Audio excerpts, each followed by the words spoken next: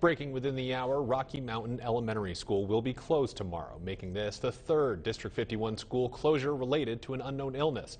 Mount Garfield Middle School was once again closed today after sending students home early on Monday. This comes following closures at Palisade High School Thursday and Friday of last week. Rob Hagan joins me live in studio after speaking with Mesa County Public Health in search of answers. Rob.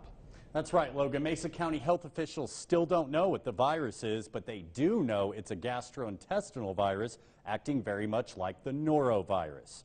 Various District 51 schools have been closed on and off throughout the week. Behind the scenes, the school district and Mesa County Health are working feverishly to end the outbreak. The health department says to be very careful because the original estimate of a 24 to 48 hour illness period may be a little short. Mesa County Health recommends two main steps to keep this highly contagious virus from spreading, and one of those steps is cleaning, but cleaning the most effective way. Even though something says kills 99.9% of germs, what we know is that if it doesn't say uh, a gastrointestinal illness such as norovirus on the label, then there's a likelihood that it's not effective. If you can keep folks away for up to 72 hours, um, you, you start with a clean bill of health on that next day, no pun intended.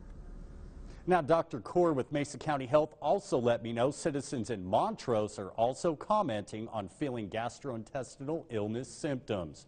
Remember, if you or your loved ones are experiencing symptoms of nausea, vomiting, or diarrhea, Mesa County Health recommends the best action you can take to keep this outbreak from spreading further is stay at home for at least three days.